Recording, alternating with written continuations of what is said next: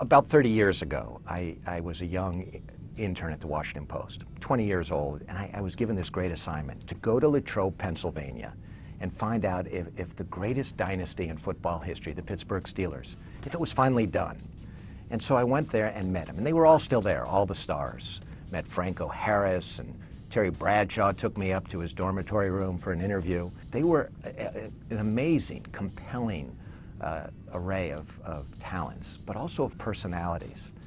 And that's where the seed for this book was planted because 30 years uh, later, I, I, found myself wondering, how are they today? What did it all mean? To me, this Steelers dynasty of the 70s is the greatest football team, at least since the Earth's crust cooled. But I think non-Steeler fans can, can go to this book and learn about a real brotherhood, what it means to be teammates in the truest sense. For, for 10 years and more in the pre-free agent era, these Steelers were together. And now they're, they're men in their middle 60s. Many of them are grandfathers. Some of them have paid physical prices for, for playing the game. But what resonates for them most is, is that, that friendship, that brotherhood they shared.